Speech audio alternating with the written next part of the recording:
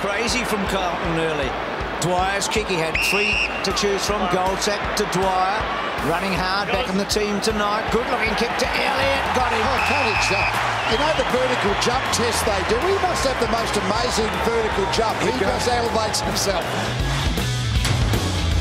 The rule still does exist. If you put the hands in the back, it's a free kick. Oh, Elliott the fly. But uh, a little too early. Pendlebury out of the middle. Elliott's ready to climb. Whoa! On that near the other end. And that would have been mark of the year. Oh, this could have been spectacular. Look at the second leap he gets off the top. That would have been enormous. Cloke to Beams. Beams a high centering ball. Bartel. Oh, Elliott went early. That is a ripping mark. Saw Bartel and he knew the ball was there. He thought, you beauty. Ellis. High ball into the 50. Eagles mean biz. Oh,